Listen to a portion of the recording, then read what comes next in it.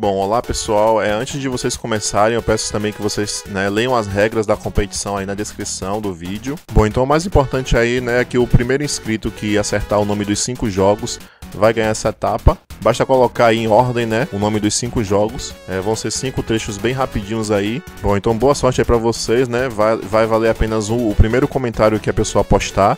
Não adianta ficar postando vários comentários, chutando um monte de resposta. E também não vale ficar editando o comentário, porque eu vou pegar apenas o comentário que eu receber lá por, por e-mail. É, no próximo vídeo eu vou é, divulgar o resultado aí para vocês. E vamos nessa, né?